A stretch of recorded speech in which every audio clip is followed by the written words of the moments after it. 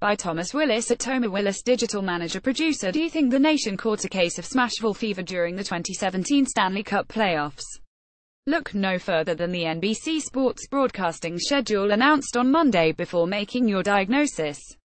The Nashville Predators are set to appear a franchise record seven times on national television during the 201,718 season, including five games hosted at Bridgestone Arena.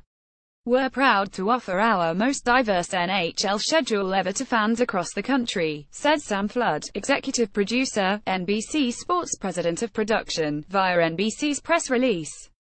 From classic rivalries and historic franchises to young stars such as Auston Matthews and Connor McDavid, a hockey-crazed market in Nashville, and a new franchise in Vegas, this schedule represents our commitment to present the NHL's diverse and emerging stars, teams, and stories. Preds fans will have the opportunity to reintroduce the country to what makes Smashville so special for the first time on Tuesday, November 14 as Nashville hosts the Washington Capitals.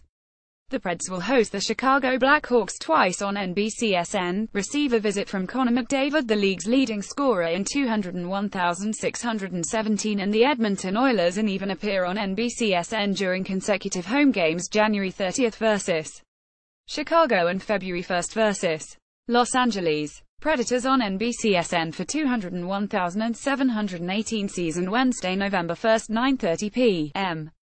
CT at San Jose Sharks Tuesday, November 14, 7 p.m. Washington Capitals Tuesday, November 28, 7 p.m. Chicago Blackhawks Friday, December 29, 7 p.m. at Minnesota Wild Tuesday, January 9, 7 p.m. Edmonton Oilers Tuesday, January 30, 7 p.m. Chicago Blackhawks Thursday, February 1, 7.30 p.m. Los Angeles Kings View more